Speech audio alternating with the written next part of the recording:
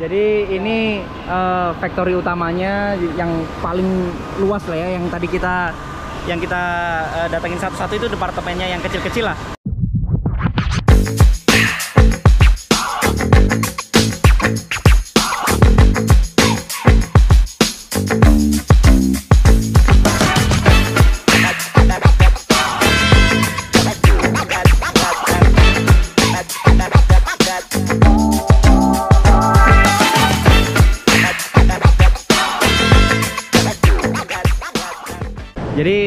Lanjut kita habis dari tempat R&D-nya, sekarang kita langsung ke tempat produksinya. Nah, produksinya kan eh, nggak jadi satu tempat ya, maksudnya ya tergantung bagian apa yang mau diproduksi. Nah, kita langsung eh, ditemenin aja sama Mas Arif.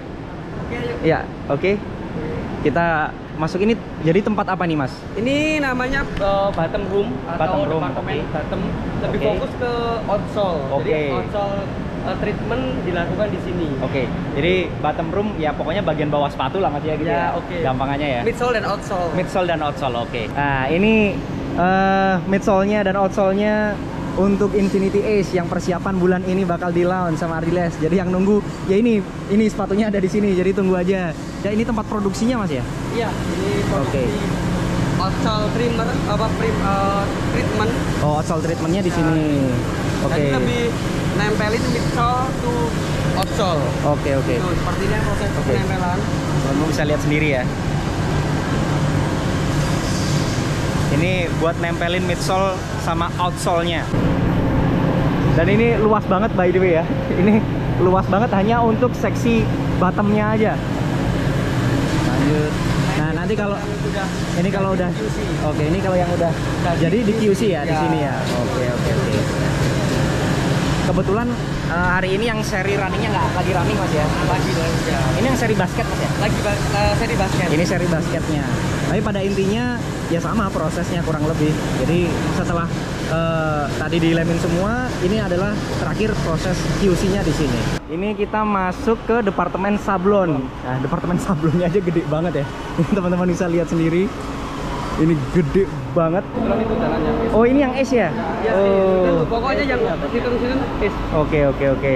Ini ininya ini eh, persiapan untuk uppernya ya. Jadi sablonnya di sini. Ini teman-teman bisa lihat sendiri. Ini buat insole-nya. ini di counter. Ini apa? Belakang di counter. Oh, back counternya. Ini tuh besar banget ya. Jadi jalan aja bisa kalorinya bisa banyak terbakar nih. Ah, Nah, ini udah ini uppernya Infinity Ace dalam proses sablon. Nih seperti ini nih. Ini Infinity Ace. Satu-satu. Teman-teman bisa lihat sendiri itu semua uppernya Ace. Mulai dari sini sampai ujung sampai ke yang sebelahnya ini juga untuk Infinity Ace. Jadi persiapan bulan ini sesuai info sudah launch untuk Ardiles Infinity Ace ini kan tadi ya Infinity Ace. Ya. nah ini kan hasil udah disablon dan kalau udah agak lengkap nah ini seperti ini ya. Mungkin teman-teman yang udah lihat review saya untuk Infinity Ace sudah tahu desainnya seperti apa. Nah ini yang sebelah kanannya ini yang sebelah kirinya. Jadi hasil dari sablonnya sama bapaknya ini hasilnya seperti ini. Jadi ini ada informasi menarik tentang Infinity Ace yang sebenarnya saya juga nggak ngerti walaupun udah saya review saya juga nggak ngerti fitur ini ya jadi gimana mas ini bagian belakangnya mas ya back counter. Back counternya. Ya, back counter ini ada reflektif eh, cat kita pakai reflektif. Ah. Jadi akan berfungsi untuk memantulkan cahaya. memantulkan Nah, cahaya. Ini aman, safety buat kalau teman-teman subuh atau malam hari. Jadi, nah kayak gini mantul. Padahal sebenarnya kalau di ini kelihatannya hitam ya kalau biasa, tapi Iya. kalau kena cahaya bisa mantul. Nah ini salah satu fitur yang ya nggak saya sadari pada saat pegang pertama kali sepatunya. Menarik sih. Lanjut sekarang ini adalah eh, proses press dan di proses press juga nggak kalah luasnya, sama-sama luasnya. Kita eh, lihat aja masuk ke dalam.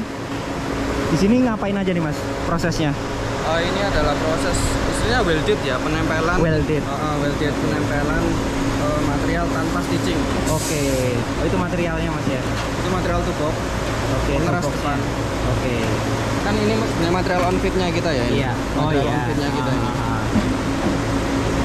Oke. Ini di press. Di press di. Ini mesinnya. Mesinnya Isinya ada beberapa ya. Oh, ini Infinity Ace juga, tapi yang colorway-nya yang hitam. Jadi ada hitam eh, abu-abu pinknya gini ya. Ini prosesnya. Dimasukin eh, di mesin pressnya. Setelah proses sablon, tadi eh, materialnya dibawa ke sini di press. Jadi proses dari setelah eh, sablon itu adalah pressingnya di sini. Dan ini juga luas banget ya di sini tempatnya. Nggak kalah luas lah. Jadi setiap setiap bagian, setiap kompartemen kayaknya luas semua ya di sini. Oh, yang yang TPU-nya? Ya, jadi ini kan masih Oh, iya iya iya iya iya. Oh. Jadi tadi terpisah setelah dipres Hmm. jadi menyatu Mas ya Betul. antara mesh sama TPU-nya. Oh gitu. Jadi ini proses memintal tali sepatunya dari sekian banyak. Itu tali sepatunya yang di atas itu Mas ya? Yang kecil ini. Jadi ini adalah tali sepatu yang udah jadi.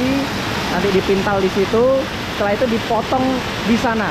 Lanjut ini adalah proses cutting. Jadi cutting itu tempat ngapain aja Mas? Eh, pemotongan material. pemotongan material ya jadi materialnya dipotong-potong sesuai dengan pola polanya ya patternnya yang udah ditetapkan sebelumnya. Betul. Ini tempat patternnya.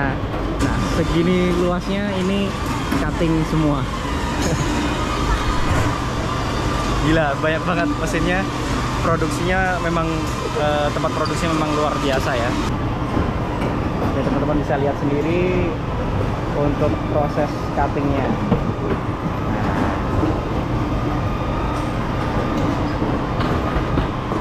Untuk ngelubangin ya untuk hole-hole tali sepatunya prosesnya seperti ini. Jadi ini eh, factory utamanya yang paling luas lah ya yang tadi kita yang kita eh, datengin satu-satu itu departemennya yang kecil-kecil lah. Nah ini yang factory utamanya yang paling besar di sini Ya, Stitching. stitching ini proses uh, preparation, jadi persiapan Oke. ditempelin sebelum stitching. oh Ini Infinity Ace. Oke, ini Infinity Ace yang mana eh, proses preparation stitchingnya. Jadi sebelum di stitch ditempelin dulu mas ya. Ya, betul. Oke, ini teman-teman bisa lihat sendiri nih. Ini aktif gunnya. Ini ak- Oh, ini pemasangan aktif bun. Ini aktif pun yang di dalamnya ya. Ya, Oke oke oke. Ini Infinity Ace-nya on proses semuanya. Ini yang colorway-nya yang hitam ya. Jadi ada yang kuning atau yang eh, hijau dan ini yang hitam pinknya. Jadi kalau nyari sepatu lari hitam ya salah satu referensinya nanti bakal Infinity Ace ini ya. Oh ini yang Infinity Flash yang eh, colorway baru. Ya, yang ini juga kalau teman-teman mungkin Colorway eh, sudah eh, familiar sama yang warna oranye untuk Rayton sama yang warna putih sekarang yang warna biru. Jadi yang colorway-nya yang berbeda ya. Jadi teman-teman nah teman-teman bisa lihat sendiri nih. Ini cakep banget sih warnanya. Setelah stitching selesai proses yang terakhir tuh proses assembling namanya. Jadi penggabungan antara bottomnya yang tadi sama uppernya. Nah ini adalah tempatnya. Ini tempat assemblingnya. Ini Rayton yang warna biru mas ya? Di sini. Oke oke. Ini uppernya udah jadi yang yang ini. Oke, nanti baru masuk ke Oke. ini persiapan. Oke. Sudah seperti ini Ya. baru di assembling. Ini prosesnya Mas ya. Nah, ini tetap prosesnya jalan terus. Nah, itu ada Rayton juga yang warna biru, teman-teman mungkin bisa lihat ya. Di situ Rayton yang warna biru. Nah, ini bottomnya yang sudah eh, diproduksi sebelumnya di bagian sebelumnya untuk midsole dan juga outsole-nya. Nantinya bakal digabungin sama Rayton yang warna biru yang tadi udah masuk di dalamnya. Jadi tadi udah dilem di sana, yang di sini masih pengeleman. Jadi lemnya memang dua kali. Jadi eh, untuk menjaga biar durability-nya nggak main-main gitu ya. Jadi proses pengelemannya tetap dua kali. Nah nanti karena tadi prosesnya agak lama kita lanjut aja. Setelah itu proses penggabungan antara bottom sama uppernya di sebelah sini. Setelah assembling eh, digabungin antara bottom sama uppernya, di sana ada mesin pressnya, di sana juga ada mesin pressnya. Itu press eh, dari semua bagiannya.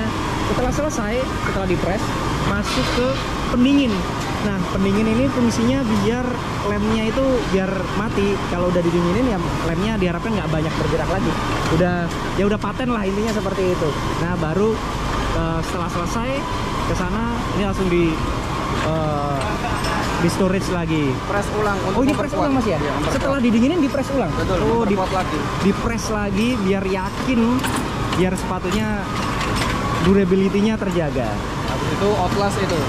Itu ngapain tuh, Mas? Melepas last namanya kan lasting ya. Lasted. Oh. La- itu melepas. Oh ini di, dilepas mas ya? Oke. Oh itu setelah itu proses pelepasannya biar ya udah itu terakhir udah sepatunya sudah ready gitu ya. Setelah ready nanti di ujung sana ada packaging. Jadi tadi teman-teman udah lihat ya proses assemblingnya. Kalau udah eh, selesai langsung ke sini dari semua terus nanti di proses inspeksi. Jadi di sini prosesnya ngapain aja mas? Jadi di sini prosesnya kita memastikan sepatu yang dikirim ke, ke konsumen itu eh, memenuhi standar quality. Oke. Jadi ini dicek satu-satu ya. Jadi QC-nya di sini setelah semua produksinya selesai sampai jadi sepatu seperti ini sebelum datang ke kakinya teman-teman udah dicek satu-satu seperti ini. Mantap. Terima kasih banyak udah nonton video ini. Ardiles bakal ngasih tiga orang beruntung Ardiles Infinity Ace. Jadi caranya gampang banget. Teman-teman tinggal subscribe channel ini, follow Instagram saya dan juga follow Instagramnya Ardiles Running. Setelah itu komen di video ini ukuran berapa sih yang teman-teman pengenin dan kenapa teman-teman pengen banget Ardiles Infinity Ace. Kalau teman-teman komen sebanyak-banyaknya lebih gampang di notice ya. Jadi nggak usah ketinggalan, langsung komen sebanyak-banyaknya aja. Boleh copy paste sebanyak-banyaknya. Dan untuk pengumumannya bakal saya umumin tanggal 15 Desember di Instagram. Jadi tunggu apa lagi?